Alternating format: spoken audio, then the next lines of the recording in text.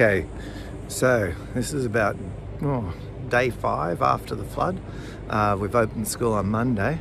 I'm down at the rugby club in Lennox Head, and now I'm about to go and have a look at uh, a new site uh, at the Southern Cross University, uh, giving us um, this building behind me, which was on the cards uh, just before the flood came. So on the Saturday, I was just about to complete a strategic direction where our academy was going to move into this whole building here.